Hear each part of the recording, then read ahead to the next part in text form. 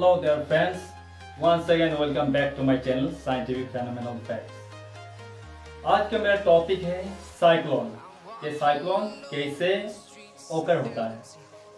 तो मैं आप लोगों को ये एक्सपेरिमेंट दिखाने वाला हूँ। साइक्लोन का मोशन जो सर्कुलर मोशन रहता है, उसको मैं आर्टिफिशियली मैं उसको बना चुका हूँ। तो सबसे पहले मैं आप लोगों को साइक्लोन क्या है वो बताता हूँ। A cyclone is a huge mass of air.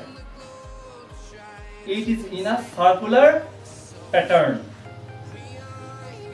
It occurs over low pressure areas. Let's see. Suppose this one is Earth.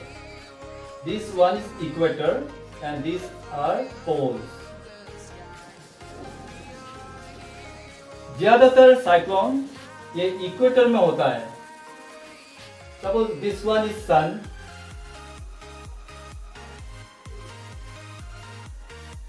सूरज का रोशनी हमेशा इक्वेटर में होते हुए जाता है।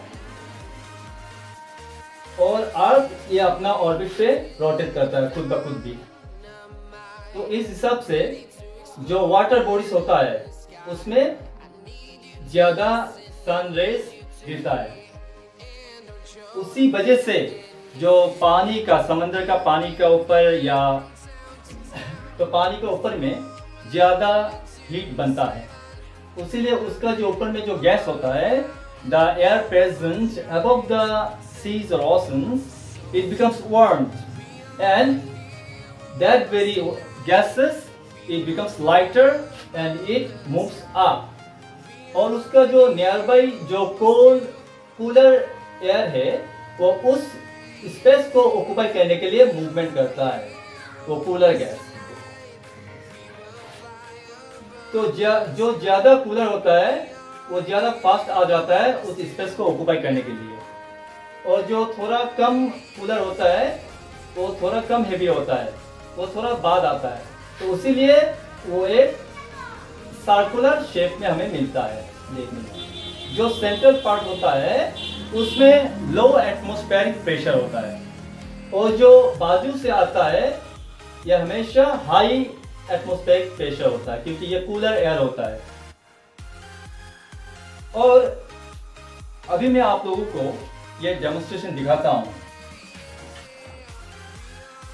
ये मैंने पहले एक ट्रांसपेरेंट जार ले चुका हूँ, क्योंकि ट्रांसपेरेंट जार में हमें दिखाई देगा साइक्लोन का जो मोशन है। और इसमें मैंने मोटर कनेक्ट किया। उसके बाद स्विच कनेक्टर कनेक्टिंग वायर उसके बाद इसके अंदर से ये फ़ैन को लगा दिया।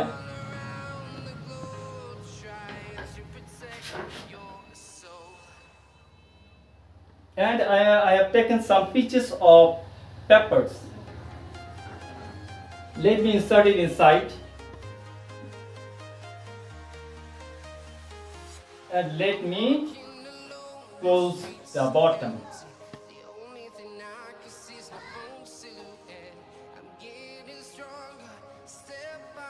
Now when it's a cell or battery, let me connect it. Here negative with the positive and positive with the negative terminal.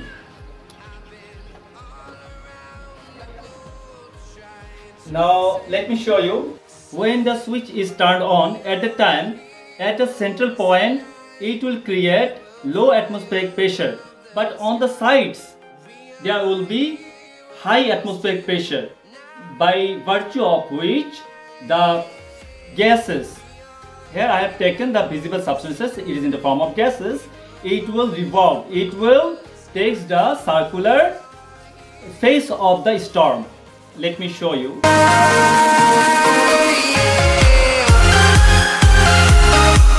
Here you see at the central point.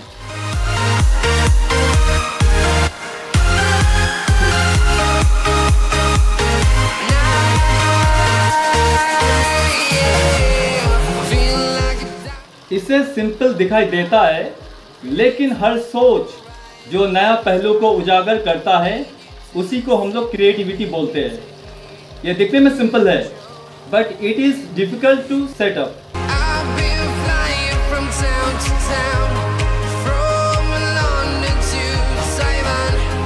I've been all around the globe trying to तो हम लोग अभी देखेंगे इसमें अगर कोई बाहर से कोई हवा आएगा अंदर में तो क्या हो सकता है?